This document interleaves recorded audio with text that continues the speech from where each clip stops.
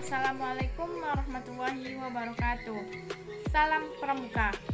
Perkenalkan, saya Febria Indah Lestari, NPM 1969-10481, kelas 4A, jurusan Pendidikan Guru Sekolah Dasar, Universitas Islam Riau. Baiklah, di sini saya akan menjelaskan tentang gagasan pendidikan kepramukaan. Yang pertama yaitu pengertian pendidikan kepramukaan.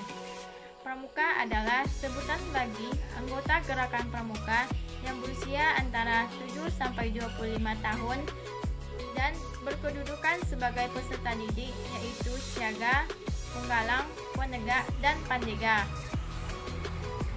Gerakan pramuka merupakan gerakan yang menjunjung tinggi nilai-nilai kemanusiaan seperti gotong royong, tolong menolong, kepatuhan dalam melaksanakan perintah, serta rasa tanggung jawab terhadap sesama manusia dan alam sekitarnya. Yang kedua, tujuan pendidikan kepramukaan.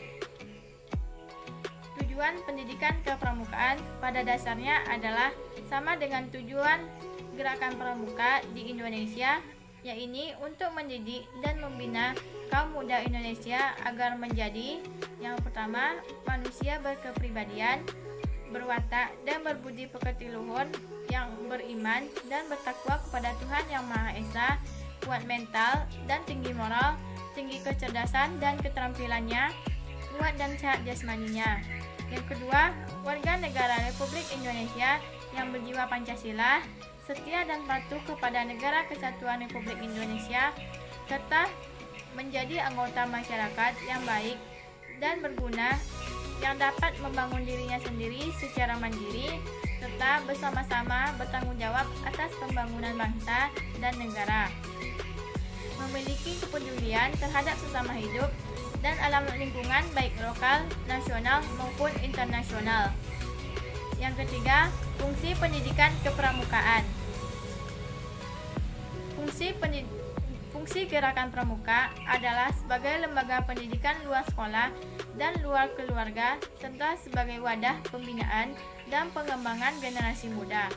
Menerapkan prinsip dasar kepramukaan dan metode kepramukaan serta sistem AMONG yang melaksanakannya disesuaikan dengan keadaan, kepentingan, dan perkembangan bangsa serta masyarakat. Yang D sistem dan materi pendidikan kepramukaan. Adapun penyampaian materi kegiatan kepramukaan menggunakan kurikulum pramuka yang diterjemahkan dalam sistem pembelajaran syarat-syarat kecakapan umum atau SKU dan syarat-syarat dan syarat kecakapan khusus atau SKK di setiap tingkatan mulai dari tingkat siaga, penggalang, penegak, dan pandega. SKU dan SKK yang menjadi syarat untuk kenaikan tingkat dalam pendidikan kepramukaan dapat dilaksanakan atas dasar kesepakatan dengan para pembina damping pada masing-masing gugus depan.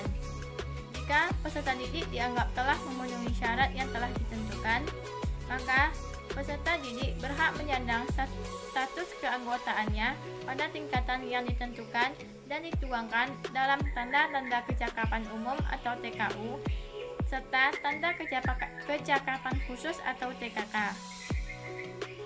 Dalam proses pendidikan kepramukaan, terdapat jenjang tingkatan sesuai dengan usia peserta didik. Ini yang pertama untuk pramuka siaga usia 7 sampai 10 tahun. Yang kedua, untuk pramuka penggalang usia 11 sampai 15 tahun. Yang ketiga, untuk pramuka penegak usia 16 sampai 25 20 20 tahun. Yang keempat, untuk pramuka pandega usia 21 sampai 25 tahun. Sekian penjelasan dari saya. Wabillahi taufiq wal hidayah. Wassalamualaikum warahmatullahi wabarakatuh.